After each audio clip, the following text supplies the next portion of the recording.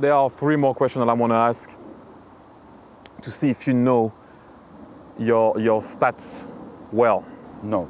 Well, uh, you know, uh, it's it's just you know three questions that I'm going to ask. Tell me the name of the player that you used the most throughout your obviously Arsenal career. One answer, boss. One answer. One answer. Kolo Touré? Shall I tell you who he was? Yes. Patrick Vieira. Patrick Vieira.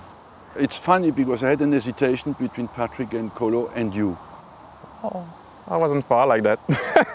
And uh, Kolo must not be far. as yeah, well. Kolo is not far, but it's it's it's Patrick.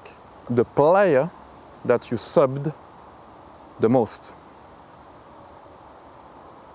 Theo Walcott. Dennis Bergkamp. Ha! I knew, I, I knew that be- reaction. I'm I knew. Look, I'm ready to be crucified for that. Wow, I, I I was surprised myself when I saw 140 times.